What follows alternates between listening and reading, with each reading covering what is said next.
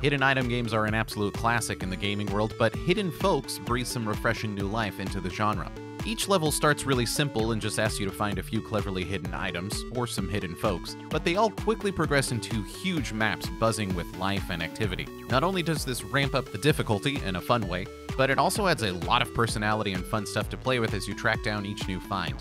And the game's lack of color doesn't stop it from being a visual treat since there's so much fun stuff going on in every map. I'd like to see Waldo try to hide here, eh, you little candy cane son of a bitch.